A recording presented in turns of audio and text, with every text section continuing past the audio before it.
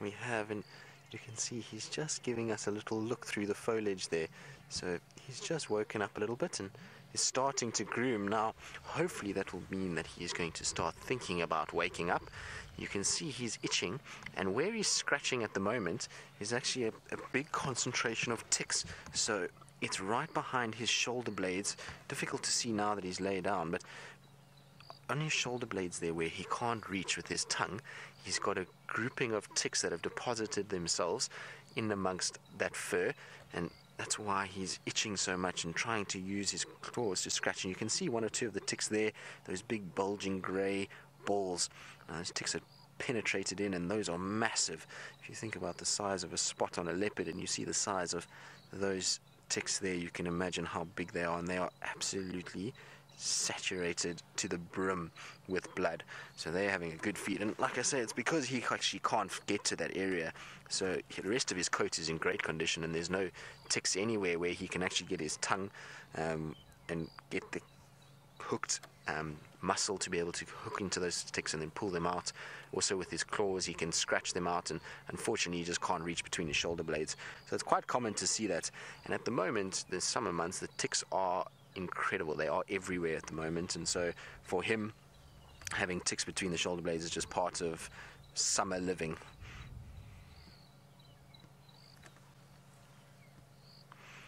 So, Holly, yes, leopards will take very long to groom themselves, much like domestic cats. It's a similar sort of thing. They try and keep themselves as clean as possible. So, often what you'll find is if this leopard has moved around during the early hours of this morning and has now decided this is where he wants to sleep, He'll then lie down and he'll start the grooming process and he'll pretty much groom his back legs along his body, front legs, and try and get rid of all the parasites he's picked up while he's been walking around.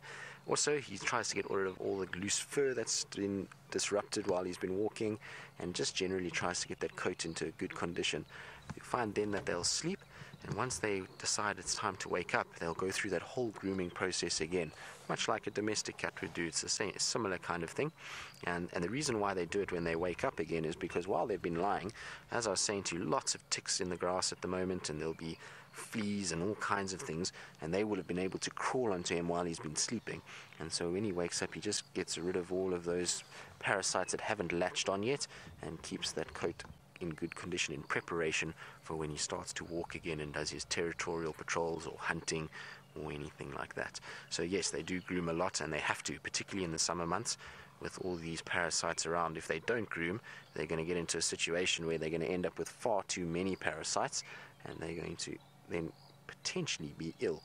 Um, too many tick bites can cause a staphylococcus infection in humans, and I'd imagine it would be very similar in animals that eventually the, the amount of poison being flushed through or bacteria flushed through the tick's mouthparts into a leopard, if there was too many of them, would definitely cause him to get quite ill. And the problem with something like a leopard is if it does get ill from, let's say, too many ticks on it, then it starts to get weaker, and when it gets weaker, it then becomes really difficult for it to hunt.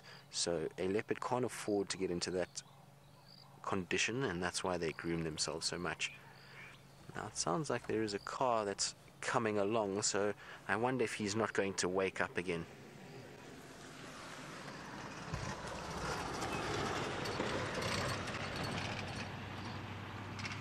So, and it was yellow You would like to know how male leopards establish territory and breeding rights.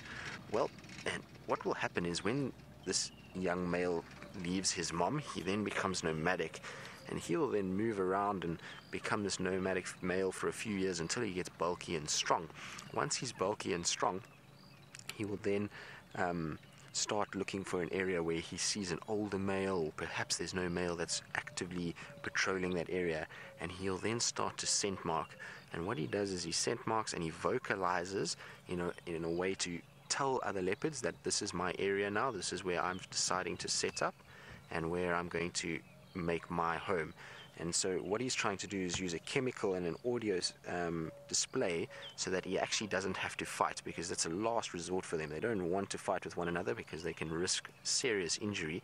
So they would rather call and, and, and leave these chemical scents.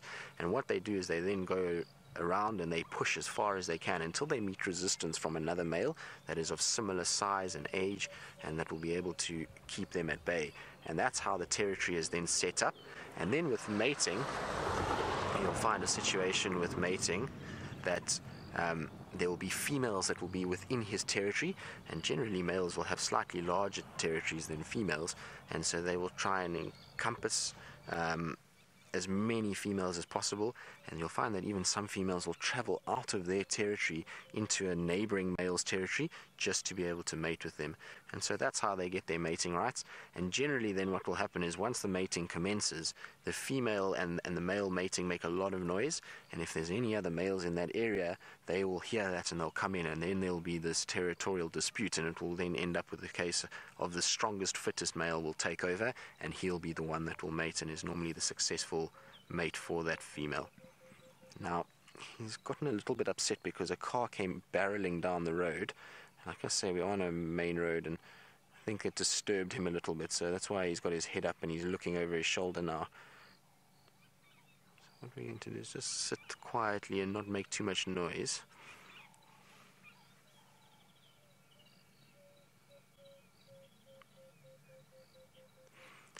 So, Rachel, you're asking about these ticks, and you want to know if these are the pepper ticks that have been plaguing Steph and myself and Jamie and James and Brent who've been on the bushwalks, and whether or not that's them and that they've latched on and now become huge. Well, it is basically that. Um, pepper ticks are a certain species of ticks, and it's the larval phase of the stick of the tick. So it's when it's first developed, and then from there it will start to grow and get bigger.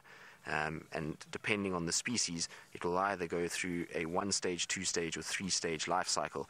If it's a three stage life cycle, like this bont tick that we see on this leopard, then it will have already dropped off another host um, twice before getting onto Tingana. So they will already be quite big when they get onto him, and then they're going to feed massively um, and swell out. And now, if you take that tick off for a while, you'll find that Sorry guys, just got to get through this little monkey orange thicket. And isn't that spectacular? A bit of patience has paid off for us. He's now going to amble down the road. Um, so yeah, I mean these bont ticks are, are quite big already when they latch onto him. Isn't that spectacular? Oh, serious itch on that dewlap. And like I was saying, you can see he's in great condition and his belly is swinging.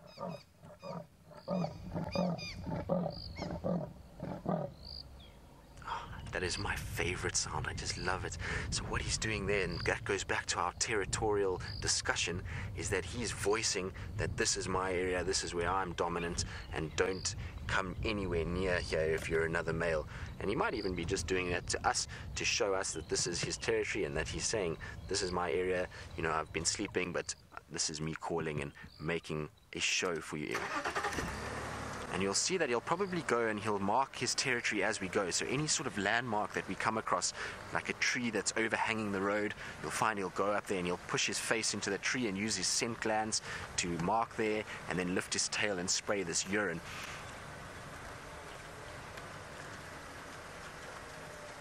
But isn't that the most beautiful sight? This large cat just ambling down the road in front of us without a care in the world.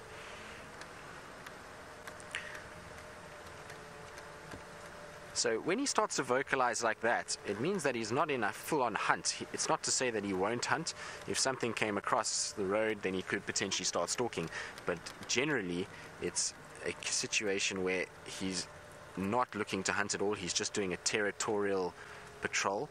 Sorry, I must apologize. We're driving on a road that's got a very corrugated effect to it. So because it's a main road, there's a lot of delivery trucks that drive on here, and so they cause the road to get these little bumps. And so when we're driving, it causes the camera to bounce a little bit, unfortunately. So I'm trying to avoid them as best I can. Is that a bit better, Vim? There we go. So it looks like he's going to potentially cross into Djuma. Let's have a look. But you see there's that tree that's on the edge of the road. So he's going to go up to it. He's rubbing his face a little bit, lifts the tail, and sprays. Now, when we go past that, we are going to get the most incredible smell that's going to come. It's going to smell like that buttery popcorn that you get when you go to the movies, and it's really quite pleasant. You wouldn't think the urine of a cat would be very nice, but with leopards, it smells like buttery popcorn and is really quite something. And so you can often, when you're tracking them, know how fresh their scent or how fresh the tracks are when you come across a scent marking. And if you can still smell that popcorny smell, then you know it's been fairly recent.